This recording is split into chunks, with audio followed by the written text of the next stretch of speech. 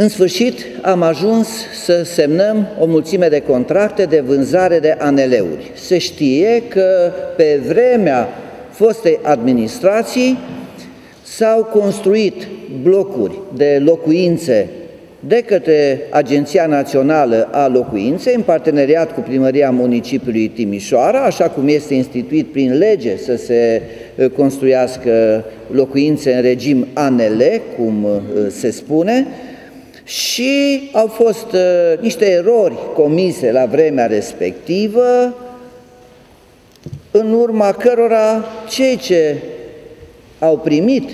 astfel de locuințe au avut de tras ponoase, iată, până acum. A durat foarte mult până când eu am reușit să deblochez situația, să identific unde s-a greșit și cine a făcut greșeala, respectiv cine și cum poate corecta greșeala respectivă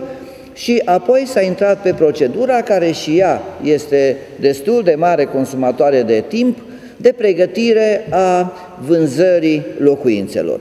Am semnat ieri și astăzi, cum vă spuneam, o mulțime de contracte și se lucrează la ele în continuare. Vrem ca într-un timp cât mai scurt, asta înseamnă în câteva zile, eventual săptămâna viitoare, dacă nu se termină săptămâna aceasta,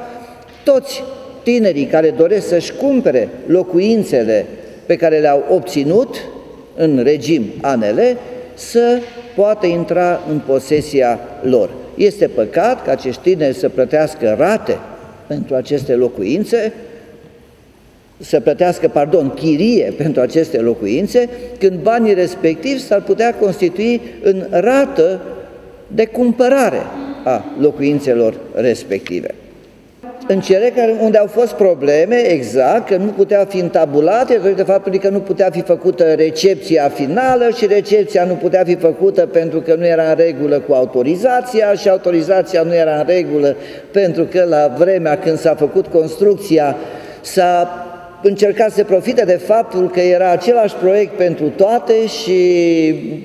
era cumva un proiect replicat în oglindă, în fine, n-ar să mai intrăm acum în detalii, sau s-a făcut tot ce prevede legea pentru uh, a se uh, ieși din acea situație și la ora actuală, cum vă spuneam, am semnat deja contractele de uh, vânzare,